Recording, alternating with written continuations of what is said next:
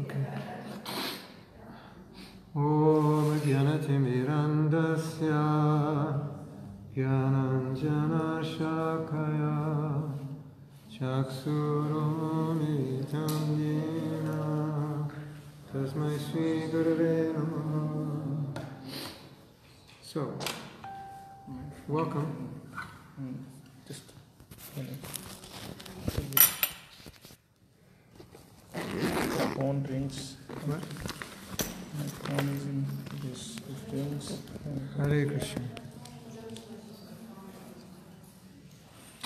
So I'm going to read a little bit from where we left off. We need translation for Russian? Hold on one second. I forgot my stand, so we're making a do some makeshift stand. Yeah, that's good. Good enough. So, uh, last week we were reading about this story of Maharaj Yayati. And he got a blessing that if his son, or if anyone would give him their youth, he could exchange it. It's quite interesting, isn't it? Yes? So he was asking his various sons about his youth, and I um, was reading something, but I didn't finish, and it was I felt it was quite interesting. We didn't finish the purport.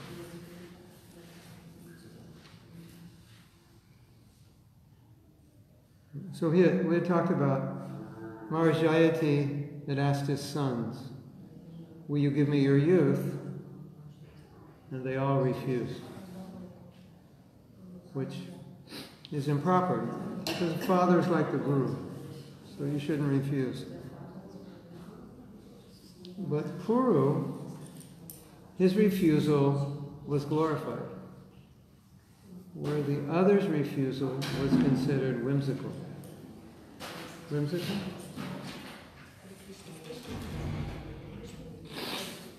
So I want to read why. So, no, Yadu. Yadu. Not Puru, Yadu. So Yadu is one of the sons, and his refusal is glorified. And I want to read why.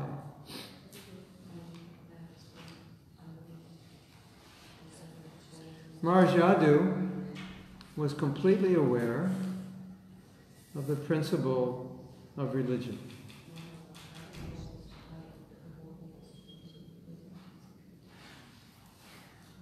The ultimate principle, of religion is to engage in devotional service. But there was an impediment. During youth, the desire to enjoy is very strong.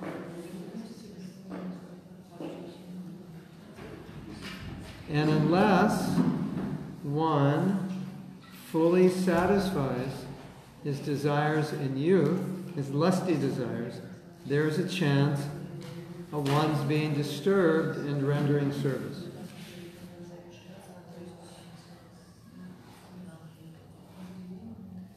So then Prabhupada goes on to explain that sometimes a man renounces, becomes a sannyasi, and he can't maintain it because the, the youthful desires are still present.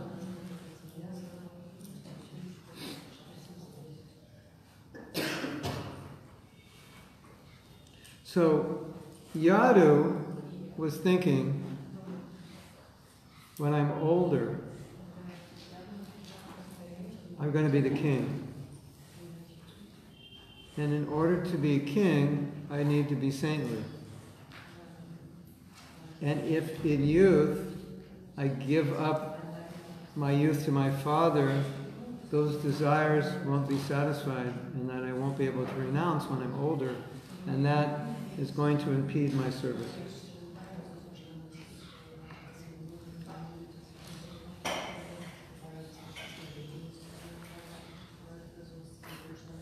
Can you whisper?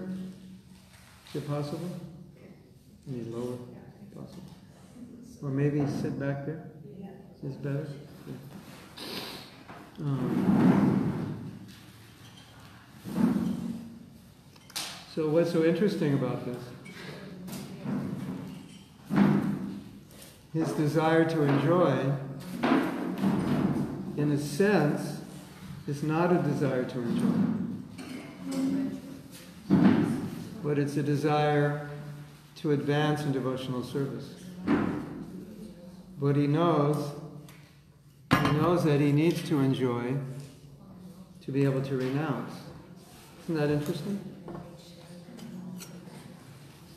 So then he's looking at the desire to enjoy as part of his devotional service. And, and really, if you understand it, it's not enjoyment for enjoyment's sake, it's enjoyment for renunciation's sake. I don't have this, I can't renounce it. So I need to enjoy it to be able to renounce it. So I'm actually thinking of renunciation by my enjoyment. Isn't that interesting? So, in other words, when we say material enjoyment, that would mean there's no Krishna involved. But here, Krishna is involved in his enjoyment because he, he sees that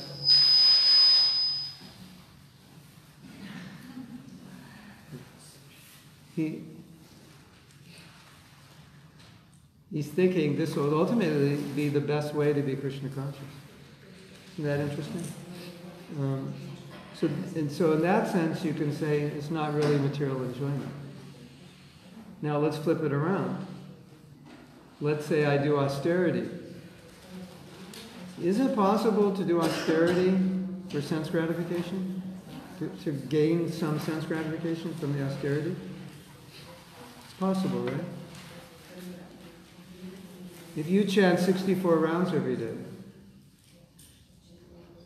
and you walk around and make sure everybody sees that, you know, the 64 rounds means, it means these beats here are down. Because every 16, one comes down. Did you know? 16, 32, 48, 64. So let's say you chant 64 and, and you're walking around the campus, you know, chanting. It's kind of like this. You're chanting, and everybody can see. Whoa, he's on. He's only. He's got 61 rounds today. He's only got three left. Kind of showing off. I mean, of course, we're making this up, but I'm sure if you've ever done something wonderful, you might have had the thought that it would really be nice if other people knew. Yes? I did some austerity this week. I just drank water, and there would be some gratification if other, if other people knew that's what I did. Yes? So, you can, if that's the case, you've just done austerity for sense gratification.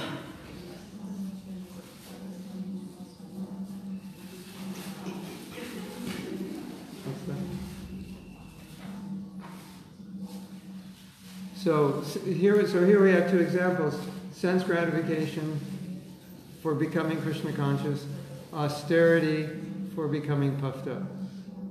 So austerity or sense gratification within a certain context becomes the opposite.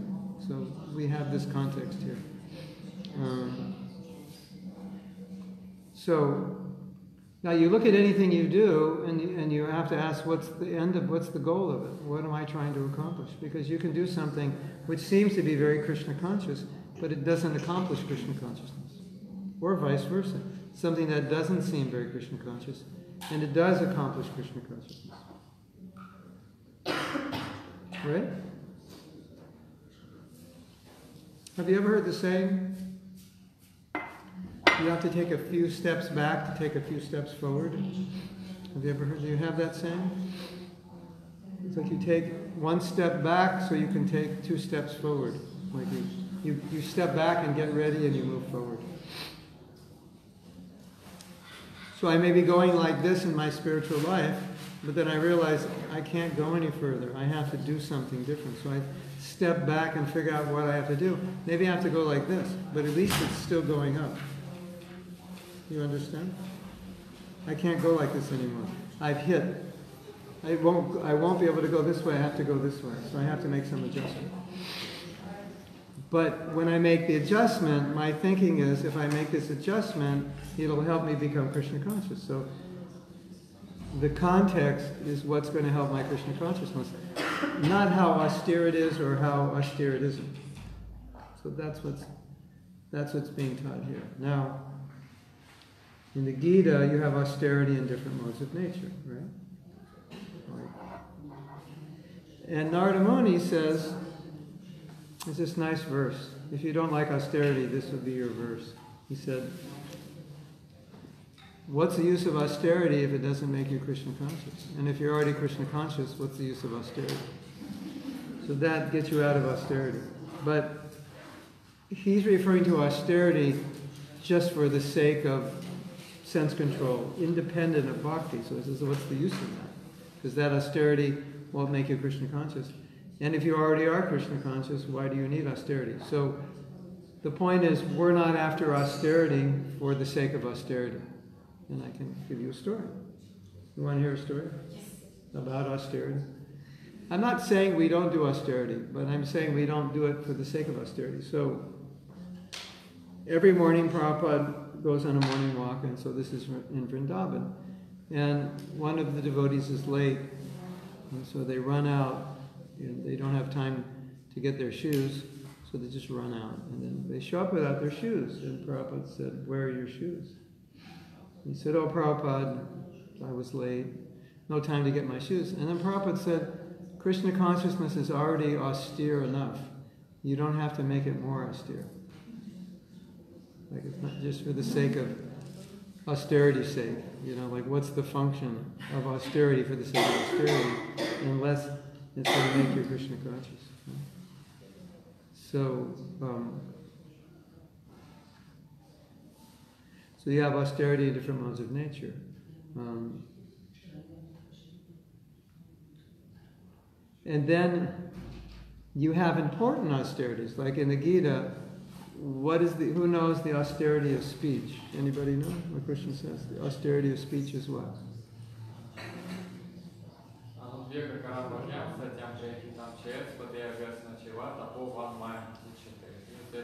You should not Disturb others yeah. when you speak and should base your speech on a Vedic philosophy. Uh, it should be. Mm, uh, it will be nice uh, to hear, hear easy, yes. easy. Uh, and it should, it should be uh, truthful. Satyam Priya. Speak the truth, but speak it pleasingly. So that's an austerity of speech. So then, when we when we look at austerity, then we want to want to discover well, what what are the austerities that are important? Right? Not just okay, I'll uh, maybe I'll do some fasting or something, but I may be giving up more important austerities. So this is a this is a very important austerity to not be critical of devotees, and and we all know how difficult that is. So this kind of satyam priya, this kind of austerity is, you know, is something we should focus on. The austerity of rising early, that's something Prabhupada emphasized. The austerity of listening to the Maha Mantra when we chant. These are very important austerities. The austerity of sacrificing personal convenience to give Krishna consciousness. These are the kinds of austerities that are directly in relation to Krishna. And Grihastha life is an austerity. Now, some men, most women, and some men need to be married.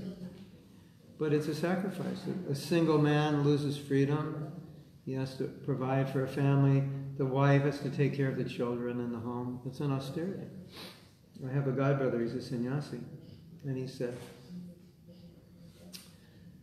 he said, Grihasthas have nice homes, but it's not sense gratification because there's so much austerity in maintaining a family, getting along, raising kids, making money. He said, but if a sannyasi lives in a nice home like that, it's sense gratification because there's no austerity because he doesn't have the wife and the family. So, so I thought that was an interesting point. So, so the grihasta doesn't get contaminated by the nice house because within it is austerity. Whereas the sannyasi, his life is supposed to be austere, and if his living is too comfortable and there's no austerity, it's not healthy. So he lives, he should live more simply. And then austerity is proportionate to the order of life you're in. So, so sannyas life is all about austerity. That's that's and Vanaprastha is preparing for austerity. And Grihastha life is not so austere. It's got its austerity built into it. It's a different kind of austerity. And Brahmachari life is austere. So it depends what ashram you're in. And so um, if you're too austere in Grihastha ashram, it won't work because then you'll deprive your family of certain comforts, and that wouldn't make sense. Right? It makes sense in Vanaprastha when you're renouncing. But you, family, children, they need certain levels of security and comfort. So, but then as I said, your austerity is providing it. So austerity appropriate. That is appropriate to your position. Uh, and then, Prabhupada said the greatest austerity, who knows what Prabhupada said is the greatest austerity? To go out and preach. To bring people to Krishna. Whatever that is, book distribution or any kind of preaching, he said that's the greatest austerity because there's so much resistance to do it and, and sometimes we'll be uh, inconvenienced or mistreated. Sometimes we're put in jail. I've, I've been arrested five times as a devotee. Not before I was a devotee. After. I never saw a jail cell before I was a devotee. I never knew anybody who was in jail. So, but these are austerities which are, um, of course, directly in the line of the order of the Guru. And so we embrace these kinds of austerity. And then, then you know, you probably heard the story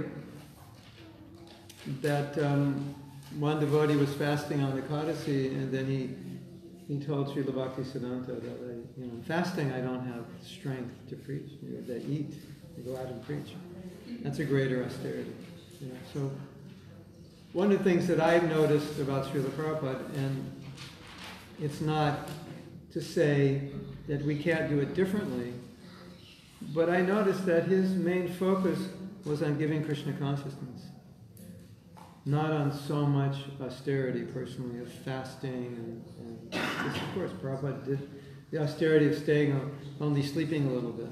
But I would say in general, his focus of austerity was on giving Krishna consciousness more than any like severe renunciation. And he he did want his sannyasis to be more renounced, and he did want all of us to attend the full morning program and rise early. It, it, didn't matter if you were married or not. He had pretty much the same standard. And he um, sometimes called his grihastas sannyasis, so he, he wanted them to live very in, in similar ways. Not all in all ways, but in similar ways to, to the other orders of life as preachers.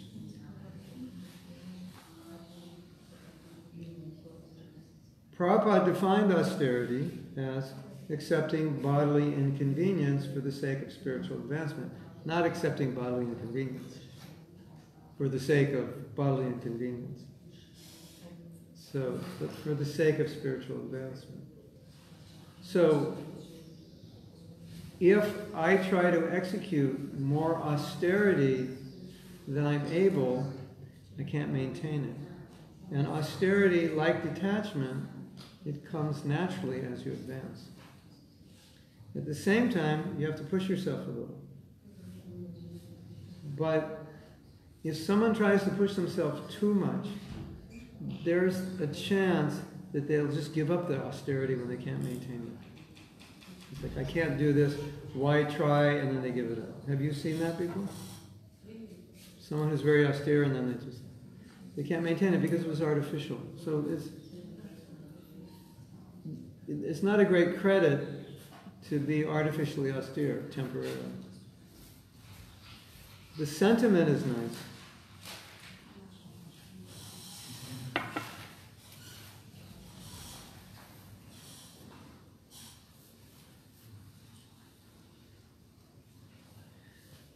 Really, the way Prabhupada taught austerity, in, in many ways, was through sense gratification. Like, like, how much sense gratification do you need? And you accept what you need. That's your austerity. That's that's your austerity. That you only accept what you need. How much do you need to eat? How much do you need to sleep? What ashram do you need to be in, and so forth? What do you need to be inspired in Krishna consciousness? And if you don't take more than you need, that's your austerity. Her need, my need, your need may be different. And so it's important not to compare ourselves. Say, well, he's he's austere, so I should be as austere as him. You may not be able to do that. And um, what is austere for him may not be austere for you. So you can do more austerity or less. So Prabhupada's point was there's a story. Prabhupada said um, you should only eat two chapatis a day and one and one cup of dal.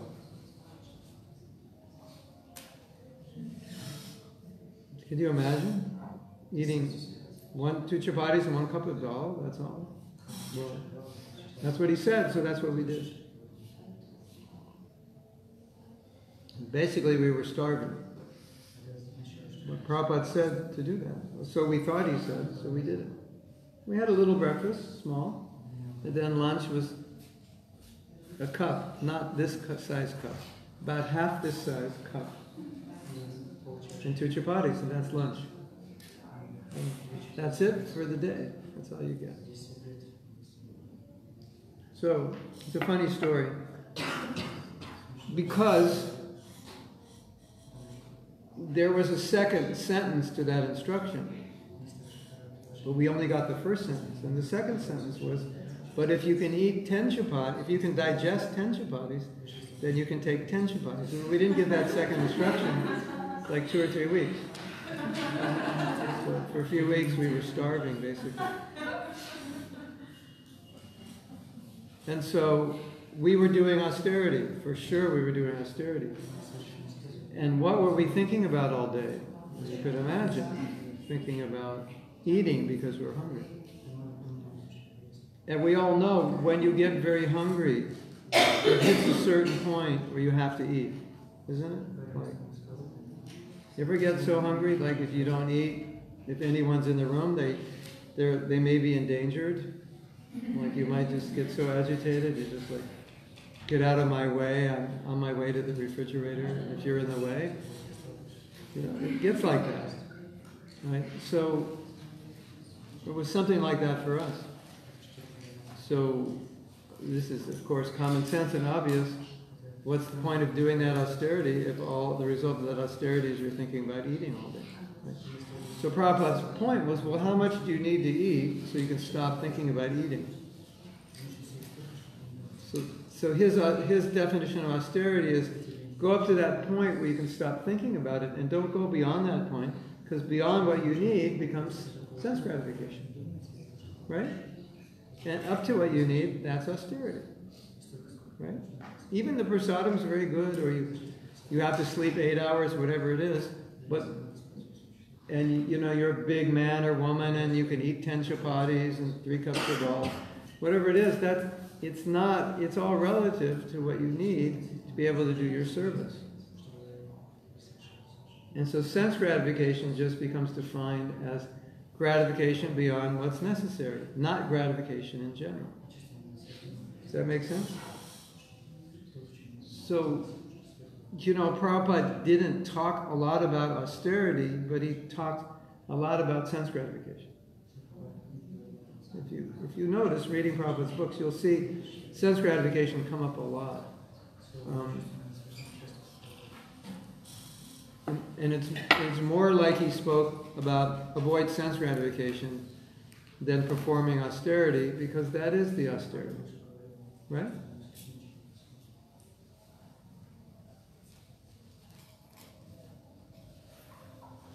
And when Prabhupada talked about Sankirtan, it was always make sure the Sankirtan devotees have sumptuous prasadam, they get enough to eat. Why? Because they're going out all day distributing books, and that's the real austerity. So, so if you minimize your eating in the name of austerity and that impedes the real service, then Prabhupada would say, well, that's uh, useless austerity. Right? So the austerity was to go out and distribute the books, and therefore eat what you need and sleep as much as you need so you can go do that austerity. That's so okay. Maybe I need to sleep more if I'm going on book distribution all day. Okay, so why am I sleeping more? To distribute books, not because I like to sleep more, right? Have you ever done that? I used to do that because I realized when I was tired, it took me like two more hours to distribute the same amount of books. But if I was rested, I could do in four hours what took six hours. Any of you have that experience? So before I would do Sankirtan, I used to take rest for an hour, so I wasted one hour, but still, even though I wasted an hour, I could still distribute as many books as I could if I didn't take the rest, actually more. So was that resting sense gratification? Of course not. It was for service. Okay, Dharmosmi, uh, Kamosmi Bharatashava. Okay, now, the greatest sense gratification in the world. Why do you do that? I mean, in the perfect Krishna conscious world, why do you do that? Only one reason to have children. That's all. So then it's not sense gratification. But if you do it for any other reason, it's sense gratification. Right? So the austerity is to do it for having children. Not that the austerity is not to not do it, but to do it for having children. And what did Srila Bhakti Siddhanta say? He said he was a brahmachari, Naistiki brahmachari. He never had any connection with a woman his whole life. And what did he say? He said, um, if by having sex I could produce Krishna conscious children, I'd be prepared to, to have sex a hundred times. I'd be prepared to have a hundred children. So for him, it wasn't sense gratification because it was for service. Right? Have you ever seen Sankirtan devotees eat a lot? I shouldn't ask that question. Who has not seen Sankirtan devotees eat a lot? Okay, so we, we've seen that. And, and they're going to go out on Sankirtan, and the temple, at least in the temple that, temples that I lived in, during Christmas time, the breakfasts were quite, they were like Sunday feast. You know, and deep fried sabjis with sour cream, and halava and nectar, pakoras, rice, sabji. That was breakfast. And everybody just feasted in the morning. But the mood was, I'm going to go out all day and distribute books. So it really wasn't sense gratification, it just looked like it. And a lot of times, the biggest distributors are the ones who ate the most prasadam. Isn't it? Have you seen that? You've seen it? Yeah. So they're thinking, I need to do this in order to do my service. So as long as everything's connected with Krishna, then, then even eating that big meal is austere. Because like for myself, I'd rather eat a small breakfast. But if I have to go on Sankirtan all day and there's not going to be prasadam until the evening, I have to eat a big breakfast. So that eating big breakfast becomes an austerity for me, because I'd rather not. Right? Or I need to eat it because I'm going out in cold weather. I need to stay warm. So it becomes an austerity. So Um, maybe one of the greatest austerities that we have to perform is in the Grihastha ashram. Because in the Grihastha ashram, you have all facility for enjoyment. And you're not allowed to enjoy enjoy it. Like everything's there, all the paraphernalia. The husband, the wife, the home, the children, the money, the furniture. It's like it's all set up. And you're supposed to be detached. Right? And that's part of the austerity of Grihastha life. That you have everything, but you detach. You don't. You don't. You always keep Krishna consciousness in the center. Does that make sense? So that's an so Grihastha life has has that as a built-in austerity.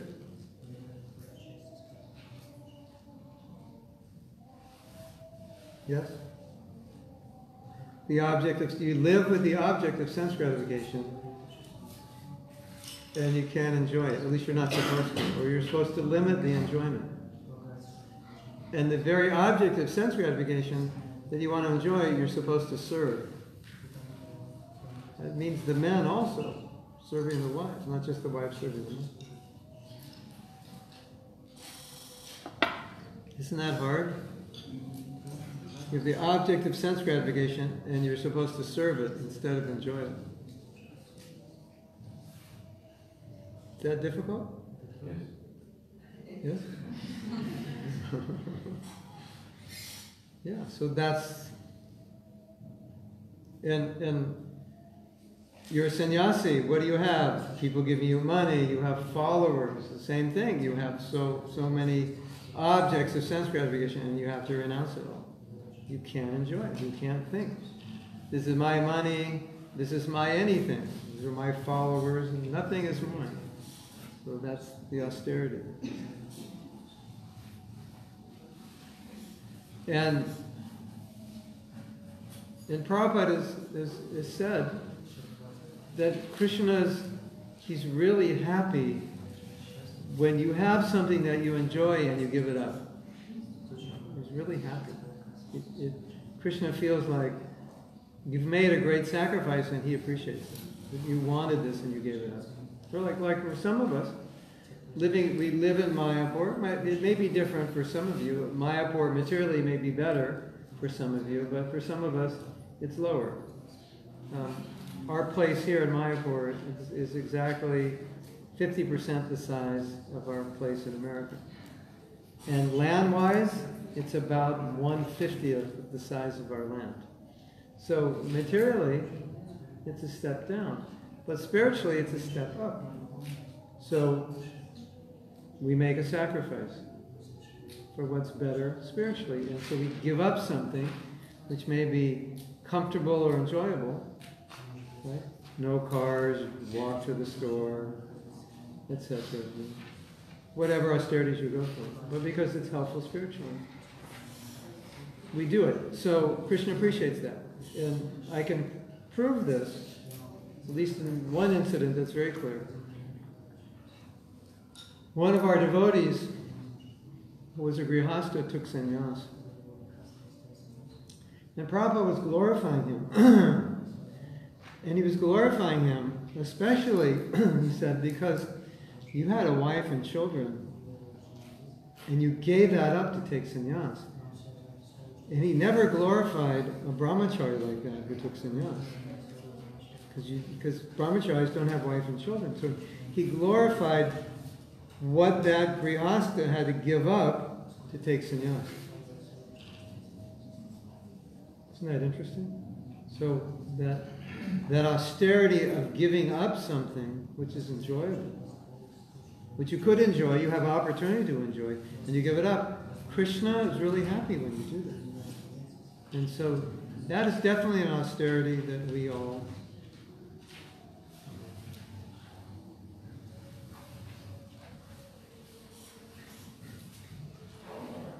that we all perform. Um, there's a story, Vishwanath Chakravarti Chakravarti. He was married, but he, he, he, he didn't sleep with his wife in the same room. The spiritual master said, Well, you should sleep with your, you should sleep with your wife. It wasn't his inclination. So that was the order of his guru. So what can he do? So, so he went in bed with his wife, and the whole night, night he stayed up chanting. So there's the object of enjoyment sitting next to you, but instead of enjoying it, you're up all night chanting. So that is really, the, for us, the ultimate definition of austerity to be in the proximity of sense gratification, of the opportunity, but to relinquish it in preference for Krishna's service. And that's what Krishna appreciates so much. So now, I would ask you to think is there anything in your life which may be detrimental to your bhakti, but favorable to your sense gratification, that you think would be useful to give up? And if there isn't, I'm not saying there is, maybe there isn't, but if there is, then you can give it up, you will please Krishna in a very big way. Could be money. Maybe you're good at making money. Now, what will you do with that money? Will you give some up for Krishna service, or will you just build a bigger house? Right? So these are options we're always facing all the time. You go shopping. What are you going to buy? What do you need to buy? Or do you just buy because you want it? Do I really need it? So are, we're always confronted with these choices. Right? Sometimes it works the opposite way. Sometimes we need to buy nice things for service. Like, um, I didn't bring any dhotis here to Mayapur because I thought I had dhotis, but all my dhotis are completely destroyed. And um, my kurtas are looking pretty bad. And I'm going to Bangalore in a few days. And that's a city, and everybody's going to look at me. So I went and I had a, I just ordered some dhotis and kurtas, and they're going to make them. You know, so that's an austerity for me because I prefer to dress simply. But Prabhupada said the Bengali proverb is you have to dress to please others. So you know, if it's up to me, I would just wear a t-shirt, and some yogi pants, and I would be happy.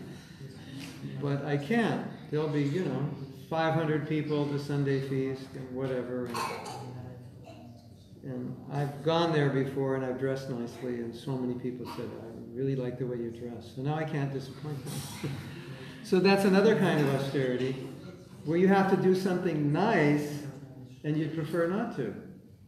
It's kind of like a reverse austerity. You have to sometimes accept things that maybe pamper you a little bit, or, or, or like, like for example, uh, Prabhupada, when he was living in his kutir, they finally finished the building here, and then they said to Prabhupada, Your rooms are ready here and you can move in. And he said, I don't want to move in. He said, Because that building is in the mode of passion, and my hut is in the mode of goodness, and I like my hut.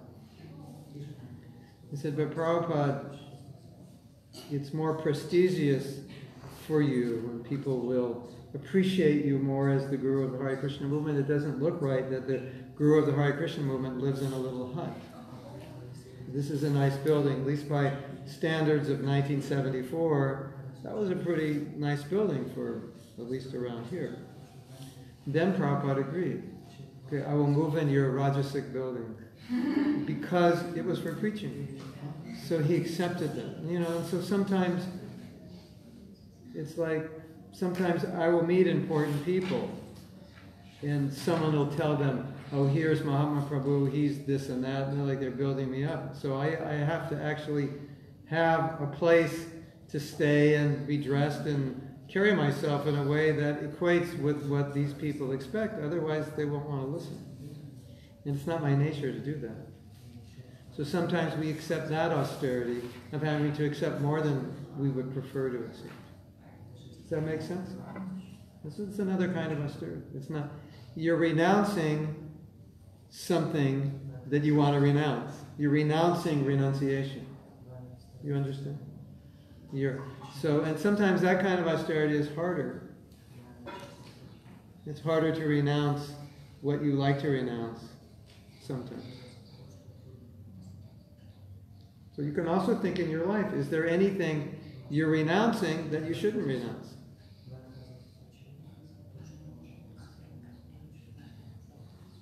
I don't know if there is, but I'm just throwing that question out to you. Is there something that would be beneficial for your service that you don't like, that you prefer to renounce, that wouldn't be good to renounce, that you should accept? So the principle of surrender is accept what's favorable. So is there something favorable you would prefer to renounce? But you should accept it. So that's a kind of austerity. Right? Um, many, many people, although we all want to be honored, but many people feel uncomfortable when they're being honored. It's just, you know, or many people feel uncomfortable being a public figure, being in front of an audience, or being on Facebook, and then once this is recorded on Facebook, then it goes out, and who knows how many people will see it. Then you become public figure. And so some people, by nature, are very private. They don't like to do that. And then your guru says, I want you to become famous. And that becomes your austerity. And now you have to be in front of people. And you have to accept honor. Maybe you have to live in the palace of the king and you'd rather live in the little hut. So you accept that as your austerity. So austerity has that. Does that make sense? Yes? Now, I'll give you an example. We have maybe a hundred people who are initiating, and not all of them are Prabhupada disciples. I think four of them are not Prabhupada disciples. So let's say we have um, 4,800 initiated devotees. Well, they haven't approved women yet. So let's say maybe 3,000 men and only 100 because it's very uncomfortable to, to be honored like that. It's an austerity. And, and a lot of devotees find it difficult to be in that position. And, and those, those who are in that position will say, yes, it's austere to be in that position. I accept that position. But if I could just be a nobody and have a private life, my life would be easier than be a somebody and have no private life right? So, you know, I think, oh, look at so and so, he's so famous, it must be nice for him to be famous. And he may be a very private person, very introverted. And he would prefer like nobody knew him. And he does that as an austerity. And then he uses that reputation um, to preach to people because people respect him and people will listen to him. And so he'll accept that because it's favorable for bhakti. So, all right, people know me. Oh, I, I can get an engagement preaching in such and such a prestigious place because I have some reputation. Okay, I'll do it. But otherwise, for myself, it's very uncomfortable. so that becomes a, an austerity, right?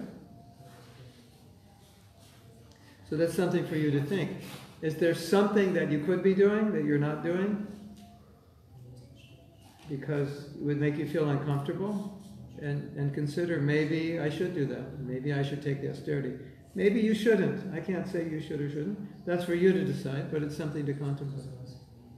Is there something I could do I'm not doing because I would be uncomfortable?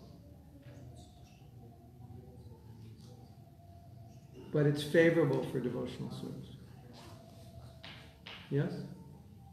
So you can meditate on that. So, You want to ask questions? I don't know if anyone here has asked a question. Yes. Uh, I'm thinking about this you said uh, also in earlier lecture about uh, if we only take the example of laddu, you know, if you only eat one laddu a month, yeah. for some people it's fine, but for other people they meditate on the, that laddu the whole yes. month. So is it better maybe eating one laddu every day? Then you don't yeah. have to eat that. Yeah. So I'm thinking especially with children. Yes. So and usage of, you know, like iPad, for example. Mhm. So with her, I have a rule, it's like only on Saturdays. Yeah. But then the whole week goes on, can I watch, can I watch, can I watch, can I watch, can I watch? So I'm thinking, is that, you know, like that one laddu, is that better? Or you can have, you know, like fifteen minutes every day, you know, and then you don't have that. Maybe, I, w- I was thinking, one day we'll have a fire sacrifice, and everyone will bring their phone and iPad, throw it in and say, we're renouncing this culture, this civilization. Do you want to talk to me? Write a letter or fly to my airport. Um, you know, it's an interesting question because it's like you've already taken a left turn and gone the wrong way, and then it's like, well, do I go right or left now? Well, it doesn't matter because right or left, they're both wrong, you know. So what's less wrong? And I think you've answered the question. It's kind of like, you know, the saying, "Don't live, don't die." Damned if you do, damned if you don't. Either way is not good.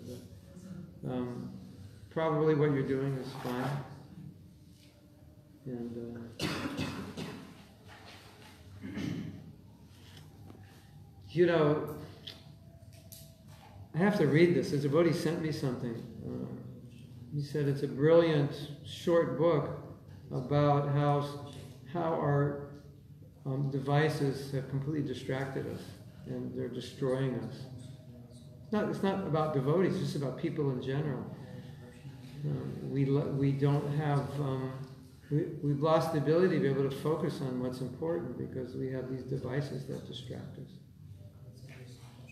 So, um, I think also, you know, if you're teaching children or you're teaching anybody, you have to teach the principle behind it. So, because if you, you know, if you don't do this, then when you're adult, this will become addiction. You know, you won't be able to go anywhere without it. You'll always have to be looking at it every 10 minutes. I re- maybe somebody knows, I can't remember, but I read how many times people look at their phones a day, and it came out to be like every six minutes or something. You know, it's just like so sad. So it, it's in planting those those seeds. So you know, at least if you explain it to her, maybe that'll help. It's and, and in studies that I've seen, the likes have the same dopamine effect or some hormonal effect as drugs. So it's a kind of you know intoxication, or every message you get is an intoxication. And, and when they study the brain, it they say it's the same effect having on the brain as any kind of addictive behavior. And that's really scary, isn't it? So that's another austerity. At least have your phone off when you chant. I don't bring my phone to the temple anymore. That's also an easy solution, not to be distracted. Just, but in my Japa workshops, I always you know, try to emphasize when you chant, you know you don't, you want to be disconnected, not just from your phone, but from everything. What to speak of your phone, everything. And I think um, I'm glad you brought it up because that's for some people that's a big austerity, right? To turn their phone off, to not carry their phone. So in an article I read, they said two things. They said if the first thing you do in the morning is go on your phone, that's a sign you're addicted. Another sign is if you're walking around your house and you always have your phone in your hand, that's a sign you're addicted. Like actually addicted to it. Like if we take it away, you'll experience withdrawal. And they did an experiment and they asked, I think people under 25 or 22 to abstain from social media, which meant computers and iPads and phones, for 24 hours. And the people in Argentina, on the average, broke down after 16 hours. They actually couldn't do it. Other countries, India, Indians were able to do it, but some countries couldn't do it. So for us, one of the biggest austerities is to find that thing that's an impediment to our bhakti and then give it up. Because that's one of the principles of surrender. Give up what doesn't help and accept what does help. So there, those are both austerities. I don't want to do this, it helps. I do it. I like doing this, it's in getting in the way of my have to stop. So that's something you can think about. Like, what is it, if anything, that I'm doing that I really shouldn't be doing? That's an impediment to my bhakti. That's your austerity. Right? Maybe it's just YouTube. I don't know. Maybe it's Facebook. Maybe it's, I don't know what it may be, but think about what's an impediment, and that's your austerity. That's a valuable austerity to perform, to give that up. Yes? But can't Maya also cover it so that actually you don't see that it's, you know, an hindrance for your, for your work? For example, if you're working, your work is from your computer or something, and then you, the whole day actually you're just sitting scrolling or something, you know, like there, maybe you don't even know that it's something that's stopping you from developing more. That may be true, but you could also say you do know, but you don't want to acknowledge it. And I think that might be more the case. You're faking ignorance so you can continue doing it.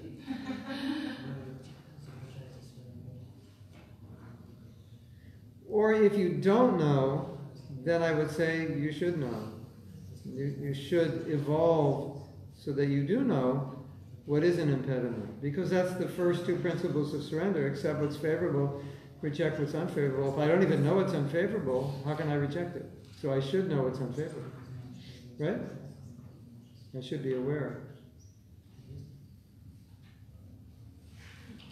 But it is true that um, sometimes we don't want to admit something's unfavorable because we like it and we don't want to give it up. And so we might have a mantra like, it's okay, it's not so bad, it doesn't bother me, whatever. And that way I don't have to deal with it. But if it is, if it is actually bad, we should be detached and brave enough to admit that it's bad.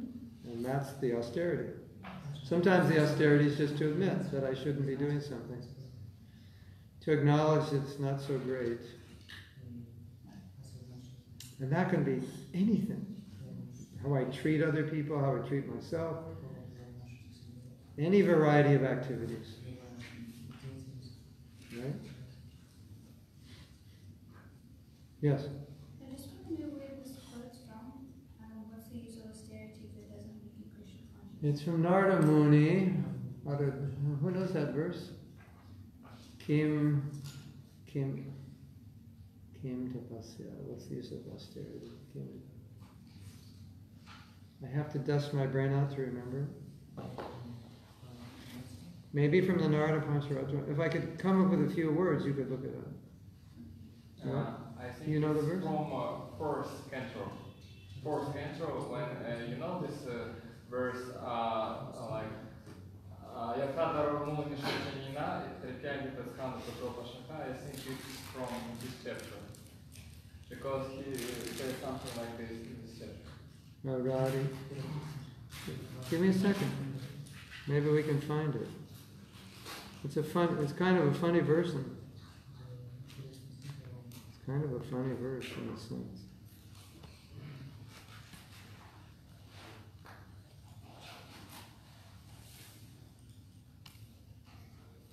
Ha! Give me a big hand. I remember it. See, Radito, yeah. Huh. Hold on. It came up, but it's not telling us where it is. Aradito yadi haris tapasa tadakim.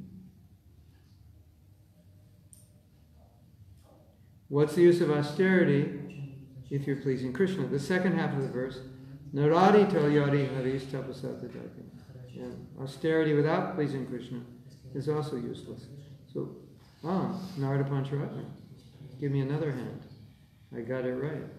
Not Bhagavatam, Narada Pancharatra. Aradito yadi haris tapasa tadakim. Aradito yadi haris tapasa. It's an easy verse to remember.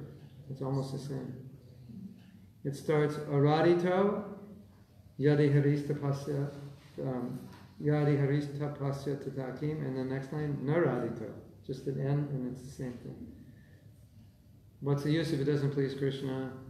You don't, you don't need to do austerity if you're Krishna conscious, and if you're not Krishna conscious, you don't need to do austerity because it's not for Krishna. so that's your verse to get out of austerity. Narada Pancharatra 126. Naradito yadi haris tapasa tadakim. Naradito yadi haris tapasa. Kim means what? Tapasya is tapasya. Yadi if. If Hari is not pleased, what's the use? One, two, six, Narada Pancharatra. My brain still works after all these years. After all that halava, it still works. You have no idea how much halava we used to eat on Sundays. It's embarrassing. Well, this is a good. This is a good point because we had very austere diets as brahmacharis for whatever reason. We thought it was the thing to do, or we were told to do, whatever the reason is. So when Sunday came, it was crazy how much we ate. I mean, just like. If you saw how much we ate, I mean, seriously, you'd think we were going to have a heart attack. Like we would be in the hospital. You can't eat that much and live. So that's the result of too much artificial austerity, that you'll swing to the other side. You know, you'll swing to the other side to make up for all the sense gratification you missed during the week. You make it up on Sunday, as opposed to being regulated a little bit, little bit, little bit. We were really good at that. Like making, we were very good at making up for it. And we thought the Sunday feast, you, you just go for it. And during the week you do austerity, but we weren't really advanced enough to do that level of austerity. So we really overindulged on Sunday. And yeah, it was, it was it wasn't it was no longer honoring prasadam, it was just sense. Of all these young 20 year old men who are restricted, who have given up drugs and sex and rock and roll. Only thing they have left is their tongue. And that's being restricted all week, and that's how it ended up on Sunday. Does that make sense? You have that experience? You've seen that? It's like all your tapasya is ruined on Sunday. All the austerity you did, it's like you lose the value of it.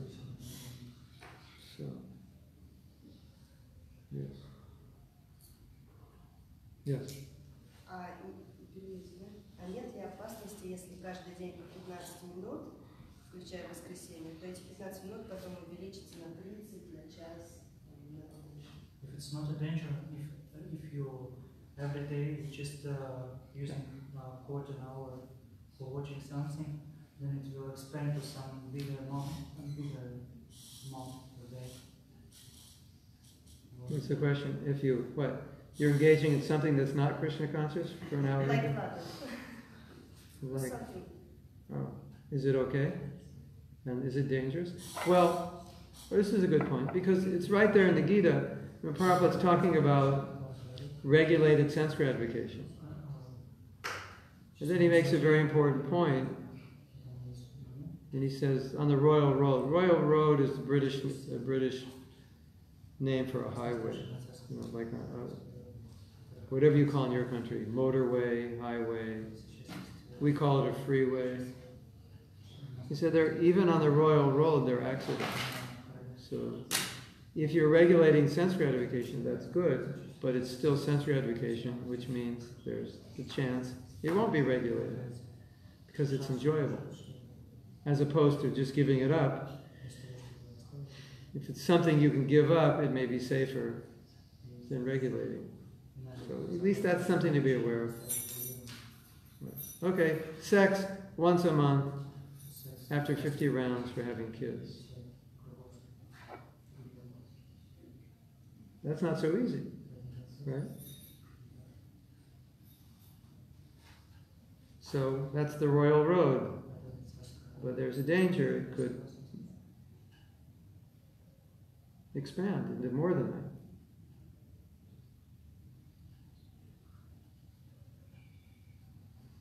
Then there's frivolous sports. Do you, do you know, I don't know if you're all aware of this, but Prabhupada's definition of no gambling is also frivolous sports. Just, just activities that are a waste of time, like playing cards or checkers or something that has, I mean, you might play some sport because it's healthy, but frivolous means doing something that wastes time.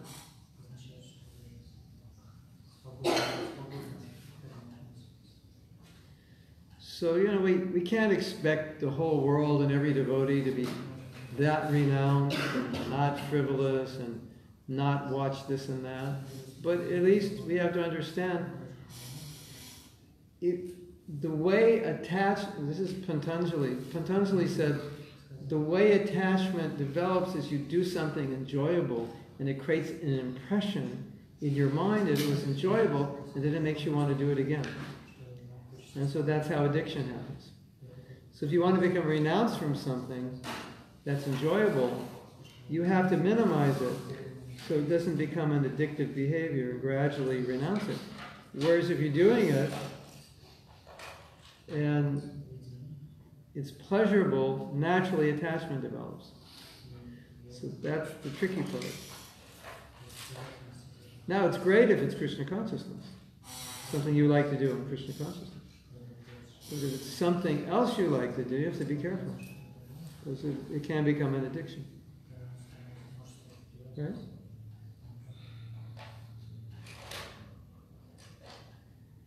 I'm not making judgments and I'm not telling you what to do. I'm just saying this is how the mind works. That if you think about anything you're attached to, why are you attached to it? Because you've had a pleasurable experience with it. And why are you detached from something? Well, if you're naturally detached and it's not due to your spiritual advancement, it's most likely because you have an unpleasurable or a disgusting or a miserable experience with it. Right? Like you'll see some men, Prabhu, you're going to get married. Oh, no, never. I go, why? Oh, I had this girlfriend, she drove me crazy. Uh, you know, it's like, that's where it comes from. If they just think about the opposite sex, it's like it was so bad. They suffered so much. It creates this detachment. Right? So that's what Pant- that's Patanjali's description of how attachment or detachment develops. It develops either through pleasure, remembrance of pleasurable, past pleasurable experience, or past, past miserable experience. So if you like to do something and you want to become detached, obviously you have to regulate it, and you have to be aware that because I like to do it, it's, it can create an addictive, an addiction, because whenever I think about it, I want to do it. Right? We all have that experience, right? Isn't it? So, if you've ever been an alcoholic, I don't know if you have, but if you have been, then you know that when you give up alcohol, you're, not that I know this because I've been an alcoholic, but I've studied this, that to break the habit for the rest of your life, they will tell you, don't ever even take one drop. Because the drop will remind you of whatever that pleasure was that you got from it, and it's going to make you, it's going to revive the attachment. Yes?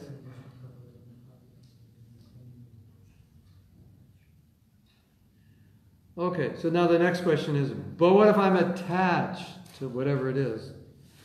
Well, if you're attached to whatever it is, then you're going to have to figure out how you can connect that to Krishna. Otherwise, that attachment is going to be destroy you.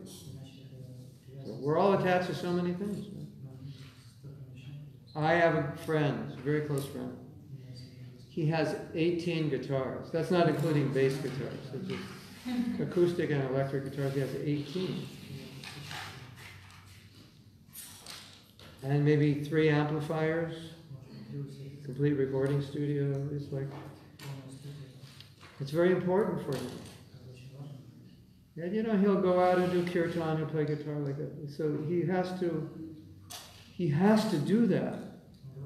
But he has to do it in a way that he can employ it employ it in some way in Krishna's service.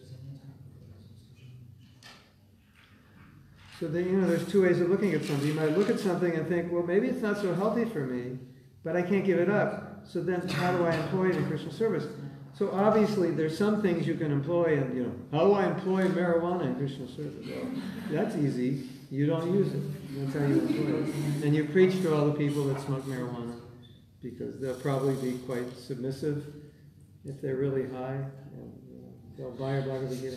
You, know, you understand, you, there's certain things you can't employ. I mean, maybe you can preach to people who smoke pot because you used to do it and you know how they think. But there are certain things you can employ in Krishna consciousness. And the things you can employ, what can you do? You have to renounce them. And the things you can't renounce, that you can employ, then you have to employ them because you can't renounce them. So whatever that is. Right? Oh, I have a nice story. There was a girl who came here maybe two years ago, and then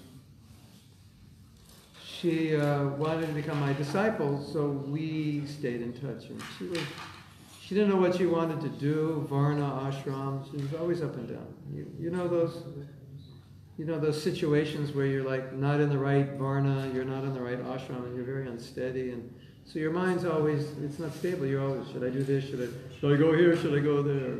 Should I marry this one or that one? Maybe I should not marry. You know, one of those maybe, you know, unstable, right? But she's an artist. So Thibin, she was not sure what she wanted to do. And now she's in a situation where she's got a lot of time to do her art. She's living on a farm in Brazil, so she doesn't have to work. And they're giving her time to do art. So she sent me a picture of her. And I'd never seen her look so happy. And she shows me a picture. She showed me what she's painting, and she showed me a picture of her painting, and she just looks really happy.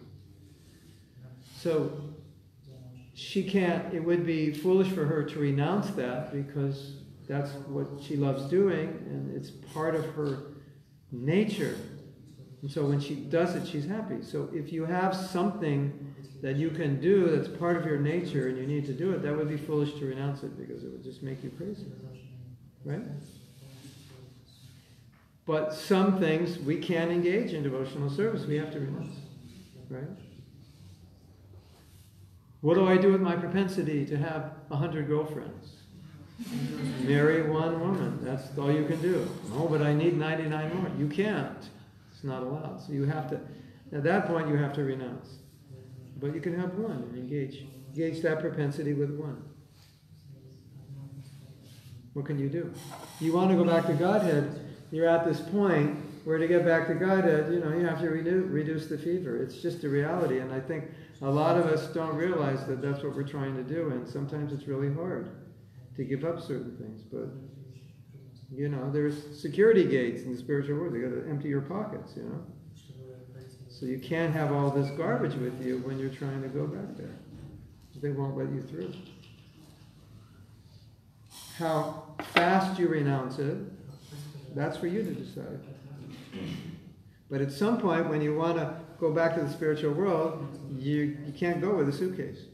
You got to go empty handed. Right? So you may not be ready now, but the idea is gradually get ready.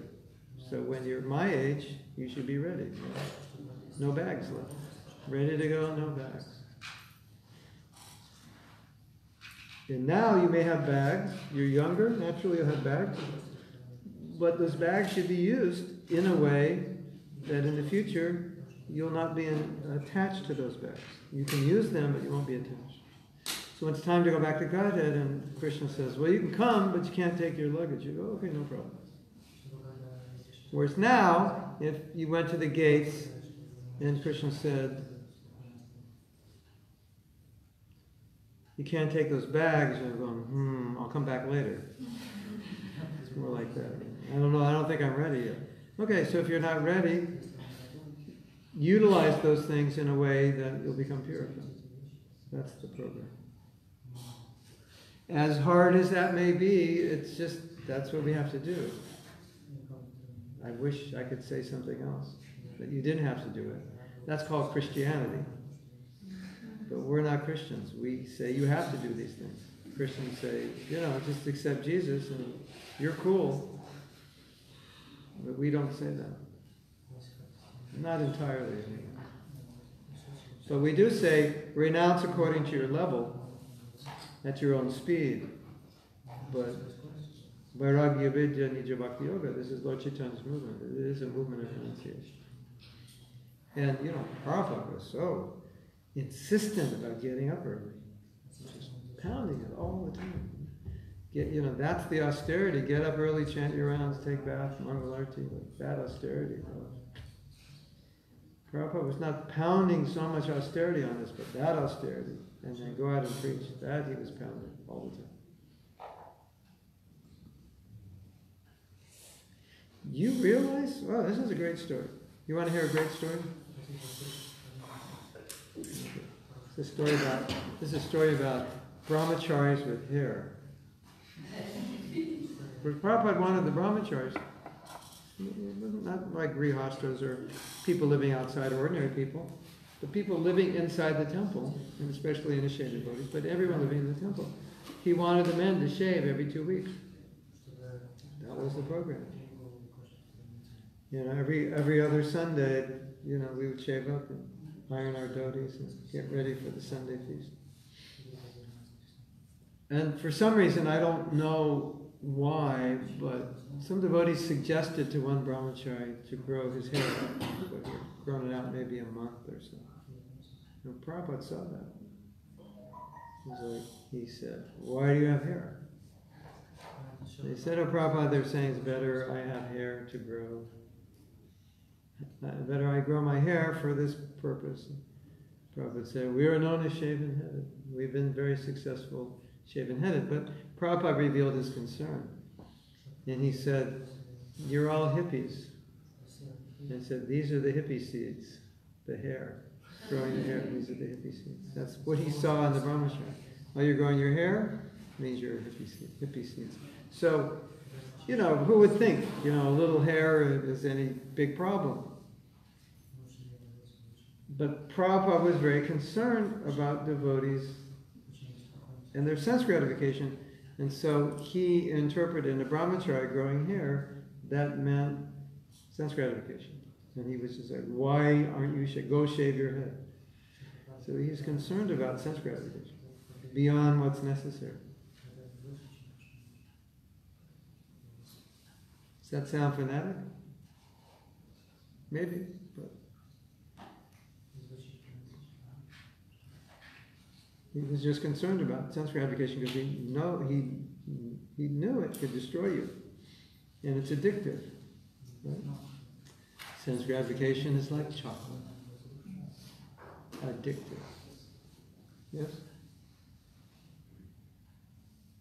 So that's why we try to control it. So we won't be controlled by sense gratification. But, you know, and so remember Patanjali's understanding of psychology, you do something, it gives you pleasure, and therefore it creates attachment because you remember the pleasure, right? Like I, I love to play guitar. Um, I grew up by the beach, surfing, and you probably had the things that you love to do, whatever it is, basketball or I don't know what you do that you love to do.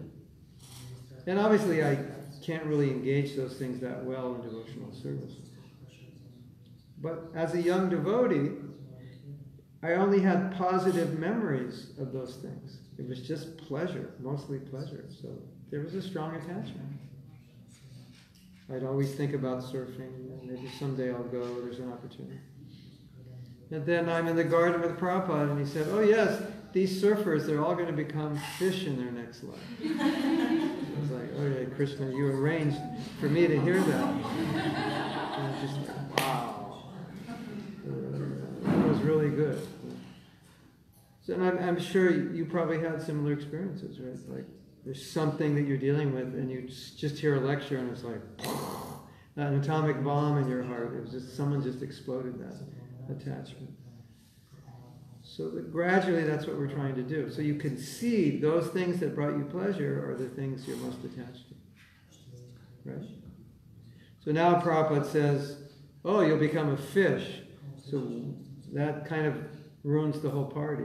you know what I mean? It's like, It doesn't look fun to surf anymore because I've become a fish. So that's how the Guru purifies us.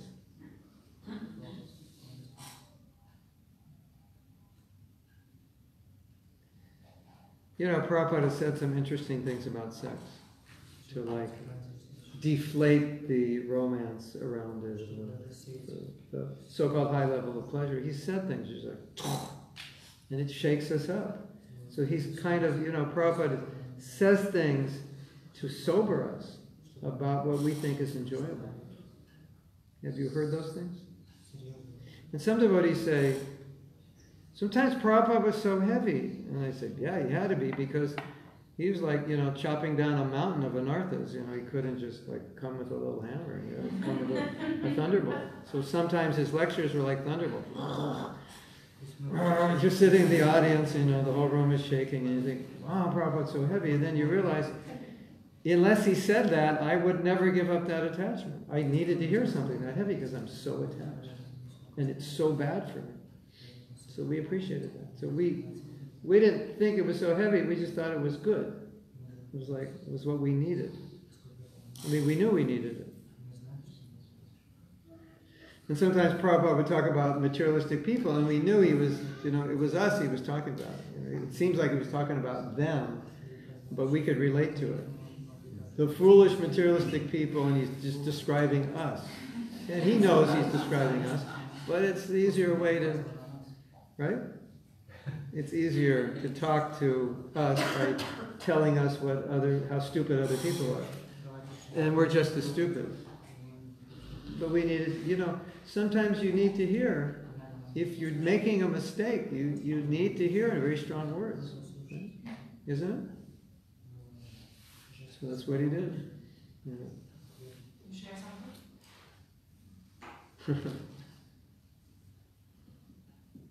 Huh. Well, it wasn't to me directly, but um, it was very purifying. So um, I was friends with one of Prabhupada's servants, and so Prabhupada, he, he would read letters to Prabhupada, and Prabhupada would tell him what to say. And then he would write the letter, and then Prabhupada would look at the letter, and Prabhupada would sign it. That was the process. So I had asked to take sannyas. That was, I think, 24. And he, and he told me what Prabhupada said. So he said, he op- many men were asking Prabhupada for sannyas. So he, he opened the letter and said, Prabhupada, another sannyas letter. Who is it from?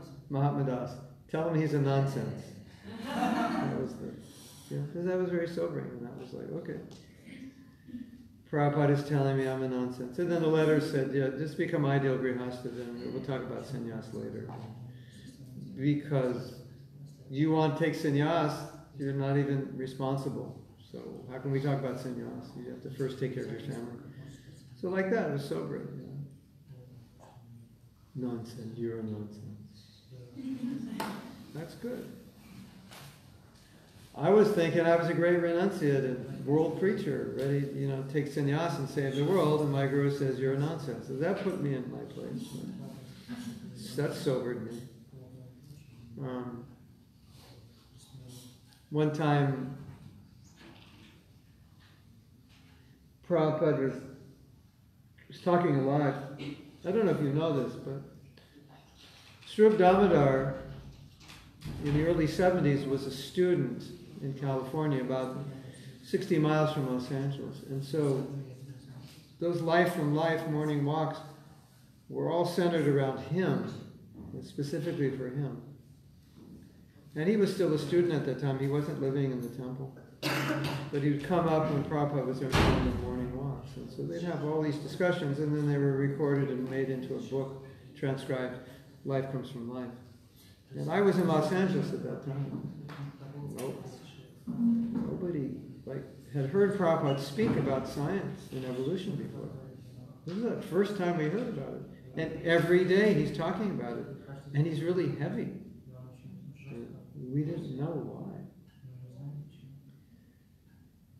And then it one, you know, because he's talking about it a lot of times, because I was on some morning walks and I would see that Prabhupada would talk in Bhagavatam class about what he talked on the morning walk, because it was on his mind. So one morning in Bhagavatam class, Prabhupada dropped a bomb and he said, The scientists are the greatest enemies of human civilization. And so some devotees were analyzing this. Saying, why is Prabhupada so heavy? And he was heavy on the morning walks. It's calling them rascals. It's Prabhupada, they say this. Then I kick in their face with boot. I mean, and what did Prabhupada mean? What they're saying is so nonsensical, they don't deserve an argument. They just deserve to be, you know, like silenced. And like, we never heard Prabhupada speak like this. Said, why is he speaking like this? What's going on? And then we realized that these were all things we learned, which were totally against the principles of Bhagavatam. And Prabhupada could see it was deeply grained in our belief system. And so he's every morning smashing. And then he comes to class and said, the greatest enemies, the great, you know, you think the scientists are the greatest enemies of human civilization? You, you might think Donald Trump is, but the scientists, you know, it's like, no, they're saving human civilization. Medicines, we cured this disease, airplanes. And, you know, Prabhupada acknowledged all of those things, but he meant the atheists. He said they're, they're, they're destroying God consciousness. Just, he says it, and the whole room shakes. And, and so then we start thinking in ways we hadn't thought before about our own beliefs and our own, our own acceptance of evolution and, and how perhaps atheistic we are unknowingly. Or, or maybe we've got Mayavadi tendencies unknowingly. So those, those kinds of things were, were very powerful. And at least for me, and I, I, probably for all of us, when Prabhupada was heavy, we understood that was the medicine we needed. And that's why he was heavy.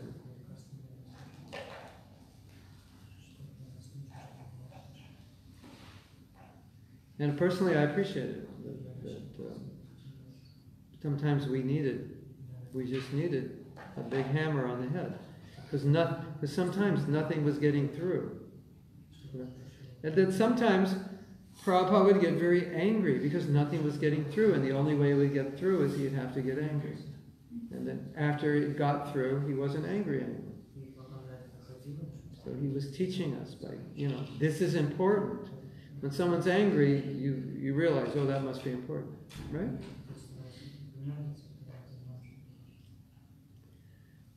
One of the things that I noticed Prabhupada did, or at least for me, he would take something that we were attached to and he would minimize it like this is nothing. This is insignificant. You know, it's just like it's like our whole attachment would just deflate like a balloon with a hole in it. I mean, that's how I felt. You know, you're battling with this attachment. You know, you're a 20 year old man. What's the attachment? You know, it's the attachment to the opposite sex and your body is, you know, you're a young man, so it's, it's full of whatever it's full of that makes you look at every woman like not mother, but something other than mother, much different than mother. And then Prabhupada talks about sex, and he just like, he reduces it to like nothing. Like, yeah, even insects do it. What's the big thing, you know? And that was very purifying for us. The way he would just take some big attachment and just, oh, it's nothing. It's just a little, you know, it's just an itch. Prabhupada, we're going out every day on Sankirtan, and it, it, we're going into parking. We're going to stores and during the day. It's all women, or 90% women. The men are working. How do we deal with it? Oh, it's just an itch, tolerated. So, you know, the thing that has kept us in the material world forever since day one. God is in the material world, it's keeping us here. We don't know how to get, we don't know how to deal with it. And Prabhupad says, don't worry, it's just an itch. Just tolerate it. So those things would help us tremendously, put things in perspective. Say, wait a minute, you're, you're saving the world. And all that is is an itch. So don't let an itch stop you from saving the world. Go out there in Sankirtan, distribute books. I'm like, okay. And it would just, you know, all of a sudden we could do it. Because Prabhupada was, when he said it, that's how he felt. And because he felt that way, that's how we felt. You know, this was like, I can't give this up. I don't know what I'm going to do, you know. How am I going to go on another day? And Prabhupada said, oh, it's just an itch, insects do it. And all of a sudden, it's not a problem anymore. So that heaviness is sometimes necessary. So if you ever think Prabhupada was heavy, just understand why. He was blowing up mountains, and you can't do it with a hammer. Mountains of contamination within the hearts of his disciples.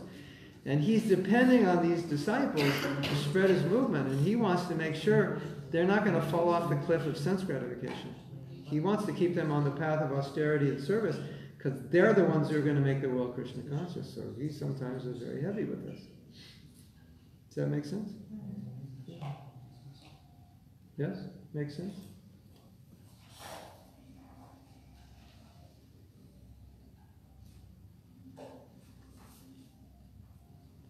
I was just telling the devotees, I said, I said, I said, I went to South Africa in 1981, and they were in Big Maya because they had these little mats. I don't know if they still have them. These little mats, and they fold up. They're like perforated, and you can fold them in three, and then you can travel with them. And then when you go somewhere, you can lay the mat down. It's about this thick. And I was like, oh my God, the brahmacharis are sleeping on mats. They're in complete Maya. Because I'd never slept on a mat before. I only slept on the floor. I thought this was like this was like insane Maya, sleeping on a mat.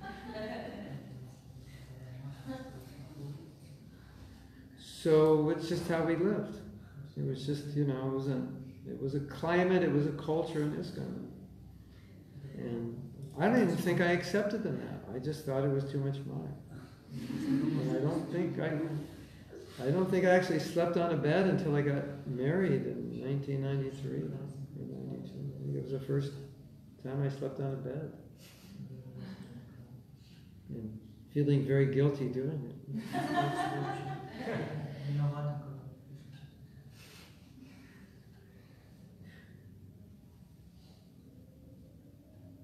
And if you, in those days, if you went to a Grihasta's house and you went in the bedroom, there wasn't anything in there because they just rolled out two sleeping bags at night. That's what was always there, so there was nothing in there. So it was a much different movement. But, you know, Prabhupada was preaching austerity, spreading the movement, and, and we were young, and that's how we interpreted everything. And that's how we lived, and we were very happy. And I'm not saying you have to live that way or sleeping on the bed is bad. I'm just trying to kind of give you a glimpse of what it was like. And, you know, if we were austere, Prabhupada was happy. I was telling the devotees today my first time I was in Mayapur, check this out for us. It's 1975. So you know on the boundary wall there's all these shops, right? Well, at that time, those were, they had all kinds of looms here, and they were making cloth here, and that's where all those families lived. And I guess they must have moved some out. And so we lived in little rooms, I would say were maybe eight feet by six feet. You think in feet? I'm about six feet tall, so it was about that, as wide as I am, and about this much longer than I am. But the ceiling was this high. You couldn't stand up in it. I don't know why. Maybe all the Bengalis were short. We couldn't even stand up in it. And our toilet was a hole in the ground. Out, um, there's a kund in the area of Prabhupada's Samadhi. Sometimes they do festivals there. Well, when I came, it was just the kund. It was just mud and the kund. There was no cement or anything. And near there, they had dug a hole in the ground and they built a little structure around the hole, and that was the toilet. And your bathroom was the kund. So at four in the morning we get up, and there's a little hole, and you do whatever you have to do. And then you brush your teeth wherever you brush them, I can't remember. And then you go at four in the morning in the dark down the mud path to the kund and take a bath and go back in that little room and bang your head on the ceiling and try to get dressed and then go in the temple. And nobody complained about it. Isn't that interesting? Now, imagine that's where you live. That was the guest. Okay, here's your guest house. Here's your room. There's the kund. There's the whole. so you can see it was a different movement. and so, you know, Prabhupada's thunderbolt preaching may have had something to do with that. That okay, you know, we're preachers, and you know, it's not about sense gratification. So you know, obviously, we have a big movement to spread and not everyone lives in temple, and not everybody can live that way, and most of the people who lived that way in 1975 couldn't live that way now. But still, I just, I don't want to make you feel bad, and I don't want to make you think you have to live that way. I just want to help you realize that that was the culture, that we could live like that. And nobody, I promise, the only thing we complained about was the prasadam. It was too hot to eat and I think they cooked it in motor oil. And everybody got sick. But that's the only thing we complained about. Nobody complained about anything else.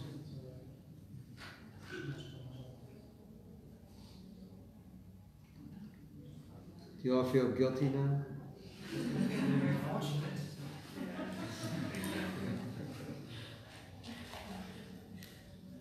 and nobody thought, oh, I'm not going to come back to Mayapur because of those little rooms or the, the kund we have to be. Nobody thought like that at all. And then, of course, it got better, but that's, that's just what we had. We accepted it.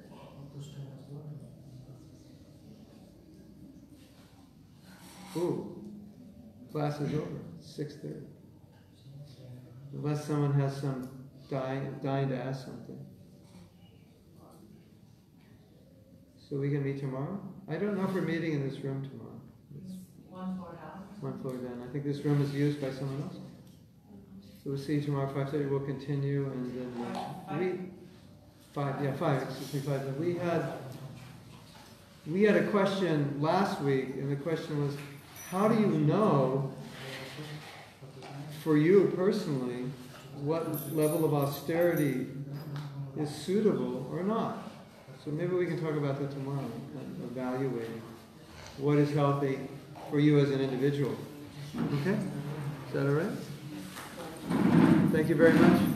Srila Prabhupada ki Oh, Premanandi.